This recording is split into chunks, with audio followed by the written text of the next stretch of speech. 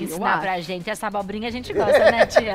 Essa é boa. Vamos lá aprender a fazer esse pão com quem entende. Nasceu fazendo pão, não é?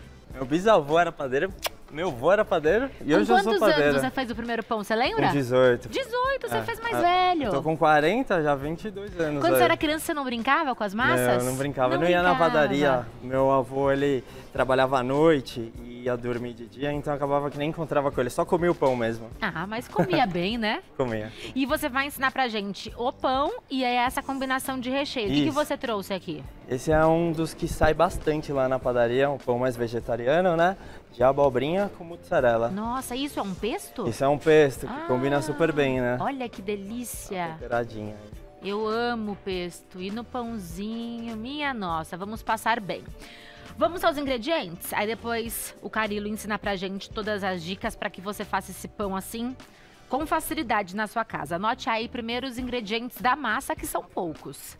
350 gramas de farinha de trigo, 600 ml de água, 10 gramas de fermento biológico, ou 3 gramas do fermento seco. Então anote com calma: 10 do fermento biológico Fresco? fresco ou 3 gramas do seco, que essa é a pergunta clássica, É, né? é mais potente, né? E aí temos também 10 gramas de sal.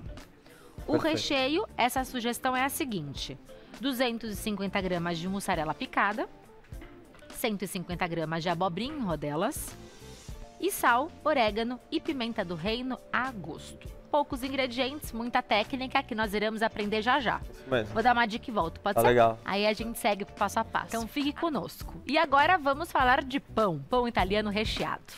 Como é que a gente faz? Bora lá. Para nossa receita a gente tem 350 gramas de farinha de trigo de boa qualidade, pô. Isso faz total Uhum. o que diferença. é uma farinha de trigo de boa qualidade? Ó, vou, vou ensinar um segredinho. Quando você faz assim, com a farinha, você tá vendo que ela borrifa e ela se propaga? Sim. E ela faz essa poeirinha?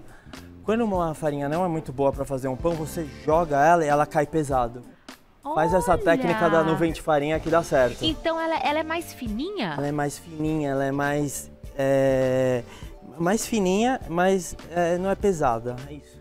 E, e tem um tipo certo? Algo que eu procure na embalagem? Ah, se você pegar marcas boas, de boa qualidade. Ah, se for falar de farinha, a gente vai embora, né? Porque tem farinha importada, que tem o W e tal, tal, tal. Mas assim, pega uma farinha que você vê que quando você estiver fazendo a massa, ela vai dar aquele glúten, vai dar aquela elasticidade da massa, não vai ficar rasgadinha, vai ficar uma massa fofinha. Você vai ver a minha massa quando ela descansa, ela cresce, ela fica bonita, não fica uma massa meio enrugada, sabe? Então, pra receita dar bom, a farinha tem que ser boa. É, porque o pão é praticamente farinha. Farinha e água, são, né? São cinco ingredientes que eu costumo falar: farinha, sal, fermento, água e mais um, o mais importante Amor. de todos. O amor. Amor! E muque, você esqueceu do muque. É, também. Porque tem que sovar essa massa. É isso aí. Então, para nossa receita, vamos lá. A gente coloca primeiro os secos juntos, né? A farinha com sal, que vai misturar mais fácil. Uhum. Misturou aqui. Aí a gente pega o nosso fermento, no caso a gente está usando o biológico fresco, e vou pôr ele na água Ah, para diluir. dissolve na água.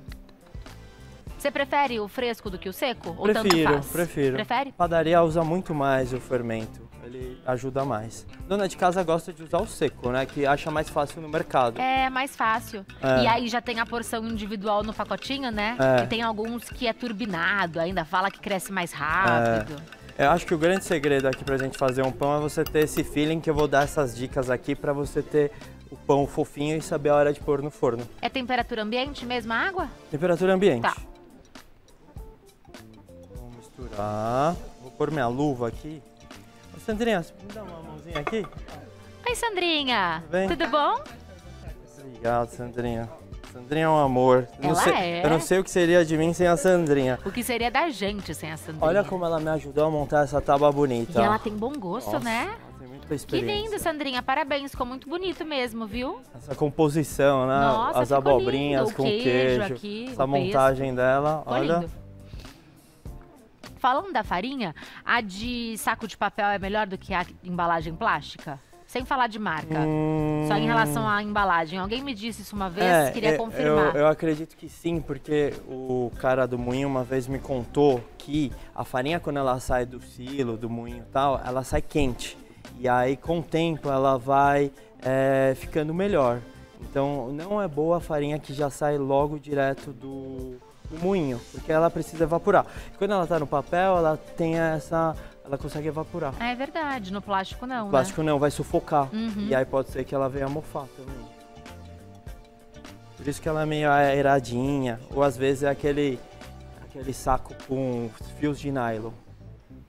A água você vai colocando aos poucos, Aos certo? pouquinhos aqui, pra gente sentindo, sabe? Se a gente vai dar certo. E tem um movimento específico que eu faço com, com as mãos nessa massa? Ah, é, é que a sua sempre- mão já trabalha sozinha, É. né? É. Ó, tá vendo essa massa, Pan? Uhum. Essa massa aqui, a gente vai deixar ela descansar. Ah, já é suficiente, Já é assim? suficiente. Misturou, mexeu, deixou ela descansar. E aí ela vai. Olha como ela vai ficar. Já tem uma descansadinha Só ali. uma pergunta. Aqui você não usou toda a água, mas você colocou o fermento aqui. Não Ah, tem problema? É, você sabe que eu vou corrigir essa receita. A receita de 600 ml de água é para 1 kg de farinha. Para essa porção aqui de 350 gramas é 200 ml de água. Ah. É, é, você pode fazer essa alteração aí, Kel, é, para essa quantidade é 200 ml de água. Tá bom, vou pedir Fechou? então pro pessoal ajustar nas redes sociais, para que você consiga anotar direitinho em casa. Tá, então você tá vendo essa, essa farinha com essa água? Uhum. Fez aqui e ela vai se transformar nessa descansada Nossa. depois de 40 minutos. Ela vai ficar desse jeito, ficar sem desse sova. jeito. Bonito, hein? Bonita, né? Linda demais, tá lisinha a massa. Posso tirar o plástico? Pode. Olha que bonita. Olha só que, que beleza de massa. Linda. 200 ml de água, 350 gramas de farinha de trigo, 10 gramas de sal e 10 gramas de fermento. Ok, Fechou? fechou. Olha só, aqui o nosso fermento, eu costumo falar assim, pã, que é que nem pegar a pasta de dente com a água. Quando você junta a pasta de dente com a água, qual reação química que acontece? Espuma? Espuma! É. Isso. Então essas bolhas da espuma, com o fermento e com a água, começa a fazer esse processo que vai fazer com que o miolo fique fofinho, com aquelas Uhum. bolhas gostosas pra gente poder passar manteiguinha no nosso pão. E essa massa aqui é a receita clássica, tradicional pra gente fazer o nosso pão italiano. Se você quiser fazer um filão, uma panhota, pão redondo, é essa a receita. Rechear com qualquer coisa ou Qualquer rechear coisa. com nada, é essa. É isso. Só que no caso aqui a gente vai pôr esses ingredientes aqui. Ali na mesa eu trouxe os pães tradicionais com recheio de calabresa, com recheio de escarola, que dá pra você usar na sua casa com o recheio que você quiser. Vamos mostrar tudo depois com calma. Aqui você vai sovar nesse estágio? pão? Não. Não precisa A- sovar? agora, nesse momento, a massa ela já tá crescida e a gente pega nela delicadamente para que a gente não estoure essas bolhas de ar que tá dentro da massa. Perfeito. Então, Eu costumo falar, se você é destro, você levanta a mão direita, desce sobre a massa, pega ela assim, vira ela, dá uma puxadinha, uma esticadinha assim e bate ela na mesa. Adorei. Aí você dobra essa massa pra você, porque ó, isso daqui vai fazer todo o sentido que eu vou, vocês vão entender. Puxa aqui, dá um karatê aqui, ó, ya, e puxa a massa pra você. Você tá vendo, Pan, que quando eu solto aqui essa massa, ela tem uma elasticidade? Sim, ela volta. Ela volta? Então, presta atenção. A gente vai travar ela na mesa nesse formato de triângulo. E agora a gente, ó, grudei ela aqui e vou pôr o recheio. Então, esse movimento que você fez é só uma vez? É uma vez só, não pode errar. isso? Tem que fazer papapum. Então, eu só misturo, deixo descansar por 40 minutos, ela já vai ficar bonita, eu dou um karatê e tá pronta? Não é bom, Sandrinha? Eu achava que tinha que sovar a massa. Muito fácil. Dá um karatê, dobrou, Amei. enrolou A coloca o recheio. você cozinhou ou ela tá crua? Crua. A gente vai com ela crua mesmo porque ela vai cozinhar no forno. Uhum. Uma vez eu fiz com a abobrinha cozida assim, já refogadinha, não ficou bom. Então põe ela crua, joga um salzinho, uma pitada nela, generosa, que ela puxa, né, pra dar gosto. Uhum. Uma pitadinha de pimentinha do reino, orégano Orégano, vamos meter uma mala aqui, né? ah, o pessoal não viu. Você vai ter que colocar mais orégano, só para o pessoal ver essa aqui. cena linda aqui, e, ó. E o segredo do orégano é você esfregar ali na mão, para ele soltar o cheirinho, Nossa, né? fica gostoso mesmo. Agora a gente acrescenta a nossa mussarela. Bastante mussarela para ficar bem recheado. E aí a gente tem que tomar esse cuidado, então, de abrir a massa em formato de triângulo. Para ter o e o formato do o filão, formato do da filão. baguete do pão italiano. Colocou aqui. Agora tá vendo aqui, ó, nesse momento, o padeiro ele tem que ter os dedos bons aqui para ele fazer é, é, esse fechamento aqui, ó. Tomando cuidado para não rasgar a massa. Se rasgar também vai ficar bonita, mas ó, você viu que ela ficou certinha, como se fosse e, um rocambole? E quase não, não caiu nada. E quando cai, a gente pega esse recheio e coloca aqui no cantinho aqui, porque o bico tem que ter recheio, né? Sem dúvida, senão não fica tão gostoso. Lembrando que a abobrinha é crua, porque passadinha na frigideira, o Carilo é. falou que não fica gostoso não. Fica não. Aqui ela vai cozinhar o, a mussarela, vai soltar aquele azeitinho dela e já vai fazer a cocção ali perfeito. Eu poderia fazer esse pão em quais outras dobras, usando essa mesma massa? Você poderia fazer ele no formato redondo da panhota, aí você faz um pão mas se fosse fazer ele sem recheio, recheado acho que ele fica melhor assim, porque para fatiar, ficar com as fatias bonitas assim. E no forno de casa eu consigo essa casca grossa, bonita que a gente encontra nos pães de padaria? Consegue, se você fizer a técnica do vapor no forno que eu vou ensinar vocês. Legal. Fechou? Ó, aí o que, que a gente vai precisar para essa massa? A gente vai precisar de um pano de prato, limpinho, branquinho. Uhum. A gente coloca aqui, faz uma caminha para pôr o nosso bebezão aqui para descansar. A gente joga um pouquinho de farinha. Farinha, ó, que faz fumaça, boa. Eu, eu, eu falo assim, os super-heróis, cada um tem o seu superpoder, né? Uhum. O Homem-Aranha, ele faz assim, voa a teia, teia de aranha. O super padeiro, ele faz assim, voa a nuvem de farinha. Maravilhoso. A Sandrinha tá adorando o que você tá fazendo aqui na cozinha. Aí você faz aquela untada, coloca o seu bebezão lá.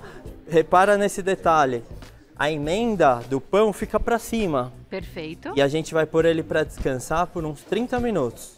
Você faz uma caminha mesmo faz uma caminha. Ele. Se eu for por outro, aí eu faço, ponho outro aqui, entendeu? E você não cobre? Não, eu não cubro. Se tiver um dia de frio, é legal cobrir porque ajuda a massa a crescer. Uhum. Porque ela precisa descansar, crescer. E aí eu já tenho uma massa ali descansadinha, ó. Descanso de 30 minutos, o pão vai ficar desse jeito. Então são dois descansos, certo? Dois descansos, perfeito. Aí, a partir do momento que descansou, você vê uma assadeira para mim, Sandrinha? A gente vai virar essa massa com a emenda para baixo na assadeira, para ela não abrir. E aí a gente vem com os nossos cortes para fazer esse desenho bonito que o recheio vai sair para fora. Então esses cortes são na parte de baixo do pão. Olha que interessante, eu não é, sabia. Esse da emenda fica fica para baixo. É, aí a gente vira assim, ó. Você coloca só farinha na assadeira, não precisa colocar só nada farinha, mais? Só farinha.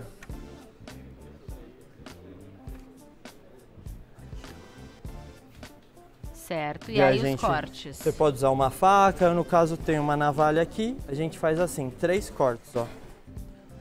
Chuk, chuk, chuk. Não um, tenho dois, navalha, três. posso fazer com faca? Pode uma faca bem afiada, três cortes assim, tá. recheio, a abobrinha vai sair tudo pra fora. Aí a gente vai colocar este pane no forno por 40 minutos a 200 graus. Mas antes a gente faz a névoa de vapor. Como pra... eu faço isso em casa? Se você tiver uma assadeira, mais uma assim, você põe ela no forno e deixa ela quente no forno pré-aquecido. Você pode pegar um copo de água e jogar em cima dessa assadeira uhum. e ela vai, vai, vai esquentar e vai fazer a névoa. Ou você vem com o borrifador e joga bastante água lá dentro do forno para criar essa névoa que vai fazer dar esse bronzeado bonito no nosso pão. Aí você não precisa pincelar ele com ovo em cima. E eu faço essa névoa no minuto que eu colocar o pão no forno ou eu tenho que repetir essa névoa durante o processo? Não, uma vez só, bem feita antes de pôr o pão. Tá. Fechou? E Aqui. aí 40 minutos do forno. Isso. E funcionaria também a técnica de colocar um copo d'água? Se o forno tiver. Põe antes então, também tá. daria certo. Então, ou uma travessa vazia jogou água nessa E travessa. aí vai subir o vapor quente. Isso, que é- água, a travessa sem nada, você joga o copo d'água na travessa pra subir o vapor. Ou, ou até mesmo uma assadeira com banho-maria. Ah, legal, também. Também. Mas eu gostei bastante dessa técnica de coloca a assadeira, e joga, bem, deixa ela bem quente Uhum. lá, joga o copo de água, ela vai Legal. já faz essa neva. O forno da padaria ele é assim, E aí eu coloco em qual temperatura o meu forno? 40, gra- 40 minutos a 200 graus. Perfeito. Fechou? Eu já tenho um pãozinho ali saindo do forno. Já temos um no jeito. Nunca ousei fazer pão italiano em casa. É. Vou fazer, hein? Depois eu te conto. Tá. Qualquer coisa você pode mandar suas dúvidas lá no Instagram da padaria também ou no nosso post que eu vou lá respondendo. Fechado. Ó, perguntinha do Rodrigo. Colocar água morna ajuda a ativar o fermento? Ajuda. Então é- pode isso também. É, isso é muito bom nos dias de frio. É, só que tem que tomar cuidado para não ser tão quente, porque senão pode matar o nosso fermento.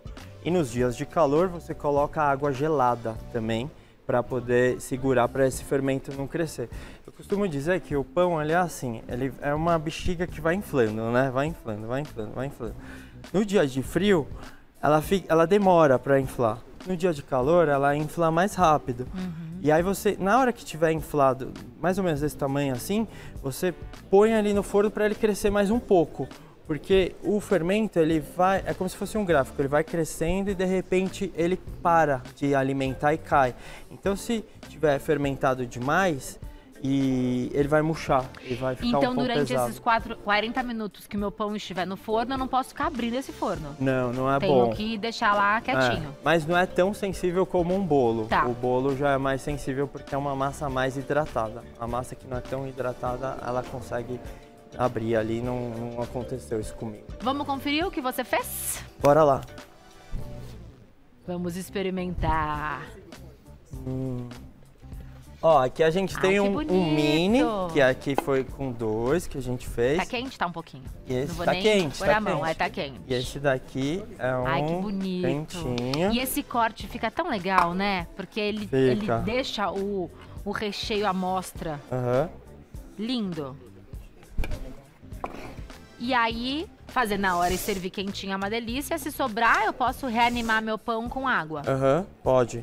Isso é- a gente chama de regenerar seu pão. Regenerar. Vai dar uma ressuscitada nele, né? Isso. Vai dar uma salvada nele. Aí eu coloco água no pão, diretamente no pão, né? E levo de volta É. pro forno. Dá uma, dá, dá uma ressuscitada aí no nosso pãozinho. Por ele direto na pedra. Bonitão. A receita que você passou, que a turma vai atualizar pra vocês nas redes sociais, a gente vai ter um pão desse tamanho? Vai ter um desse tamanho. Tá. Perfeito. Uh, Eu gosto de pegar o pedaço do meio, que ele tem mais recheio, né? quem não gosta? Te- Tem, Você um não é bobo? te- tem um ditado que fala isso. Já ouviu falar? Não. Quem parte e reparte e não escolhe a melhor parte, ou é bobo ou não tem arte. Maravilhoso! Eu não sou a gente não é bobo, né? Não é bobo, então acha? escolher o melhor pedaço. Não, eu sempre pego do meio. Em tudo, na verdade. Meu avô ficava bicudo comigo quando eu pe- cortava o pão assim. Ele falava, tem que começar do começo.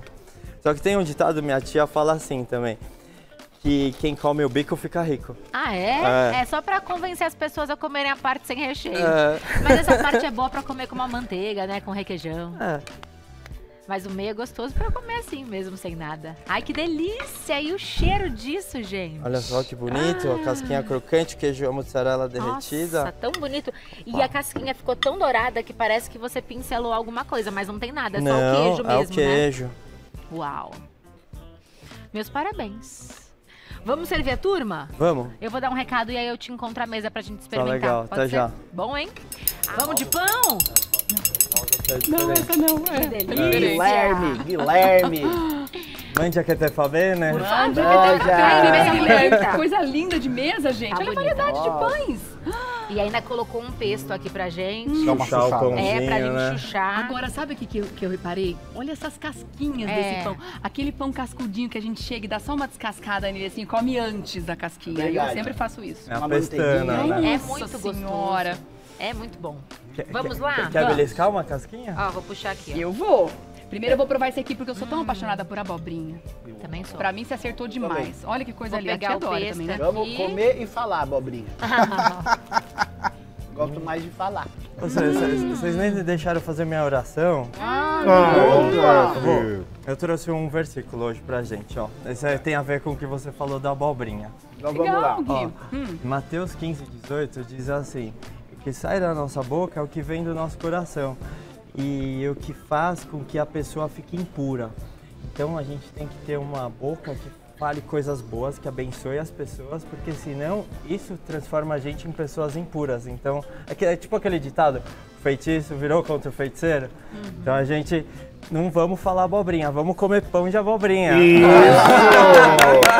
Gostei. Deus abençoe. Em nome de Amém. Jesus. Amém. E nos ajude a não falar abobrinha. Só E colocar verdade, boas é intenções e muito carinho no, na comida que a gente faz, né? Sim, sim. Pra nossa família, é. pros nossos amigos. É, porque tem toda uma intenção aqui também no alimento, Sempre. né? A E a gratidão por ter alimento também. E às vezes a gente fica preocupado, né, em é, não vou é, lavar, vamos lavar as mãos para que senão vai nos contaminar. E o que fala coisas ruins que contamina a gente.